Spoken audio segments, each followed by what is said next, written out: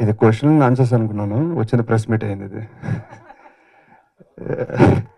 Um, మా team నుంచి అవసరాల శ్రీనివాస్ గారు కానీ మా ప్రొడ్యూసర్స్ దాసరి గారు కానీ వివేక్ ఉచిపుట్ల గారు కానీ మా యాక్ట్రెస్ మాలిక నాయర్ కానీ ఇలాగా చాలామంది సినిమా గురించి మాట్లాడుతూనే ఉన్నాం. చెప్తూనే ఉన్నాం. కానీ ఒక్కటి గమనిస్తే చాలా ఆడియో ఫంక్షన్లో కానీ చాలా అంటే ప్రెస్ మీట్లో సినిమా అలా వచ్చిందంట సినిమా చాలా బాగా వచ్చింది సినిమా ఇలా వచ్చింది అలా వచ్చింది మాట్లాడతాం. బట్ ఫస్ట్ టైం నాకు తెలిసి చాలా రోజులు తర్వాత సినిమాలో పడ్డ కష్టం మాట్లాడుతున్నాం.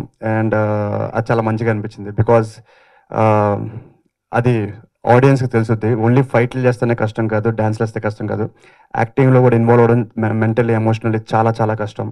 అండ్ uh, అది చాలా రాసినప్పుడు ఆయన ఇంకెంత కష్టపడి ఉంటారో నాకు తెలుసు. అండ్ uh, మీ కష్టానికి వాల్యూ రేపే దొరుకుతుంది సార్ అండ్ uh, అది నేను భయంకరంగా నమ్ముతున్నాను. సో ఇక్కడ నుంచి క్వశ్చన్ ఆన్సర్స్కి వెళ్ళిపోతాం థ్యాంక్ యూ